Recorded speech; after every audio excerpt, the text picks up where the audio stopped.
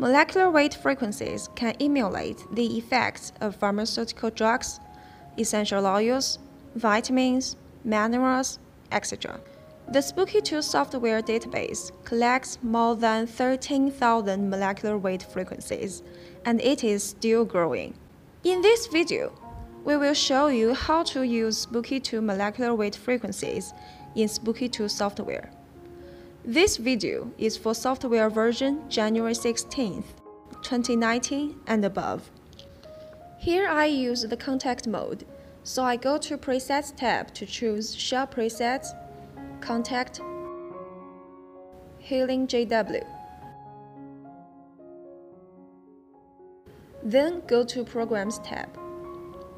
I want to run fluocinolone program, so I enter it here and click this button to search. Double-click the program to choose it.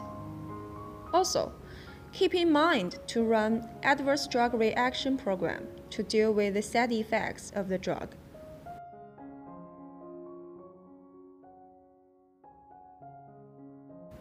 Go to Control tab, tick Override Generator, and click the Generator button.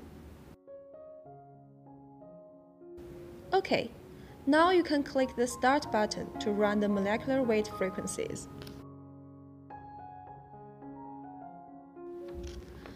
The duration is not critical if you run molecular weight nutritional programs like mineral, essential oil, etc.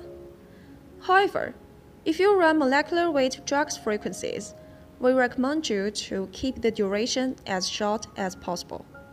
Nutritional programs can be run non-stop in remote mode, but in no case should a drug program ever be said to run non-stop remotely.